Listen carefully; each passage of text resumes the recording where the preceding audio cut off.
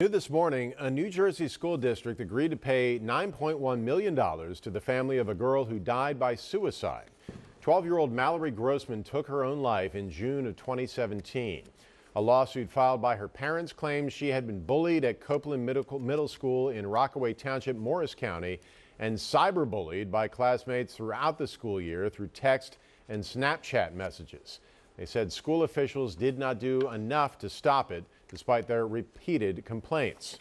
Mallory's parents hope more schools remove phones from classrooms. The Rockaway Township School District has not commented on the settlement.